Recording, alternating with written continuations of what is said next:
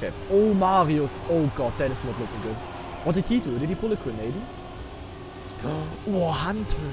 Oh my god, did you see? Did you guys see what Hunter did? He was so close to her. But yeah, Marius needs a miracle and a half to survive. I mean, maybe we will have a Dexter at the end or a Harry. what? Wh- Huh? What?